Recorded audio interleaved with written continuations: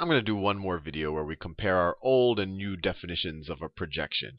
Now, our old definition of a projection onto some line L of the vector x is the vector is the vector in L, or that's a member of L, such that such that x minus that vector minus the projection minus the projection onto L of x is orthogonal is orthogonal is orthogonal to L. So the visualization is if you have your line L like this, that is your line L right there, and then you have some other vector x that we're going to take the projection of it onto L, so that's x.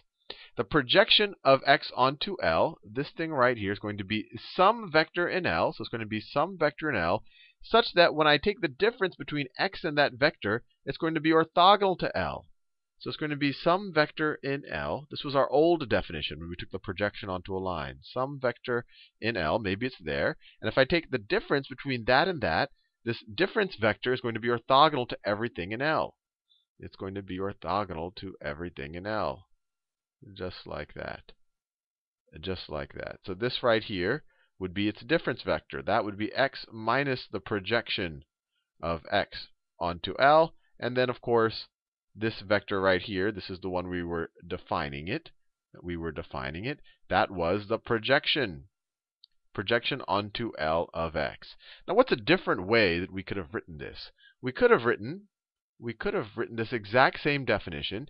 We could have said it is the vector in L such that, so we could say is, let me write it here in purple, is the vector v in L in L such that such that v let me write it this way such that x x minus v, right? x minus the projection of L is orthogonal.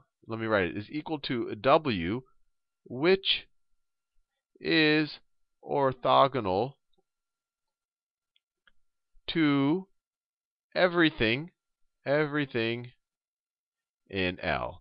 Being orthogonal to L literally means being orthogonal to every vector in L. So I just rewrote it a little bit different. Instead of just leaving it as the projection of x onto L, I said, hey, that's some vector v in L. So this is some vector v in L such that x minus v is equal to some other vector w. That's that other vector w, which is orthogonal to everything in L. Or we could write it, we could rewrite that statement right there as x is equal to v plus w. So we could we could just say that the projection of x onto L is the unique vector v in L such that x is equal to v plus w, where w is a unique vector. I mean, it is going to be a unique vector in the orthogonal complement of L, right? This has got to be orthogonal to everything in L. So that's going to be a member of the orthogonal complement.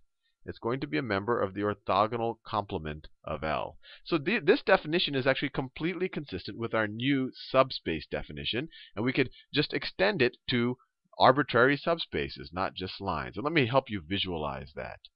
Let me visualize that. So, let's say I have some, let's say we're dealing with R3 here. Let's say we're dealing with R3 right here, and I've got some subspace in R3. And let's say that subspace happens to be a plane. I'm going to make it a plane just so that it becomes clear that we don't have to take projections just onto lines. So this is my subspace V right there. And let me draw its orthogonal complement. Let's say its orthogonal complement, eh, it looks something like that. Let's say it's a line and then it goes, it intersects right there, then it goes back. And of course, it would have to intersect at the zero vector. That's the only place where a a orth, uh, subspace and its orthogonal complement overlap, and then it goes behind, and then you can see it again. But obviously, you wouldn't be able to see it again because this plane would extend in every direction. But you get the idea. So this right here is the orthogonal complement of V, that line. Now, let's say I have some other arbitrary vector in R3 here. So let's say I have some vector that looks like that. Let's say that that is x. Now, our new definition for the projection of x, the projection of x onto v is equal to the unique vector v, this is a vector v, that's a subspace v, the unique vector v that is a member of v such that such that x is equal to v plus w, where w is a unique unique member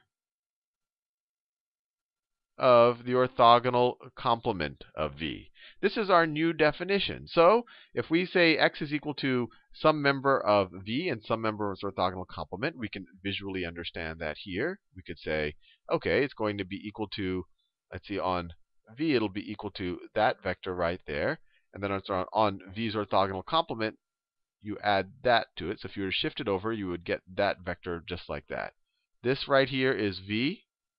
That right there is v. And then this vector that goes up like this out of the plane, orthogonal to the plane, is w. And you can see if you take v plus w, you're going to get x.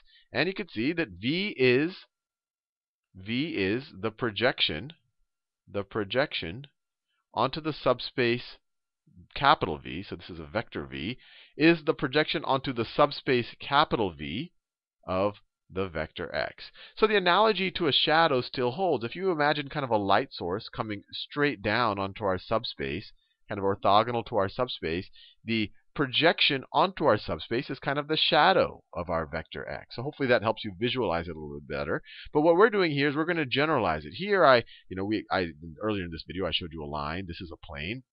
But we can generalize it to any subspace. This is an R3. We could generalize it to Rn, to R100. And that's really the power of what we're doing here. It's easy to visualize it here, but it's not so easy to visualize it once you get to higher dimensions. And actually, one other thing. Let me show you that this new definition is pretty much almost identical to exactly what we did with lines.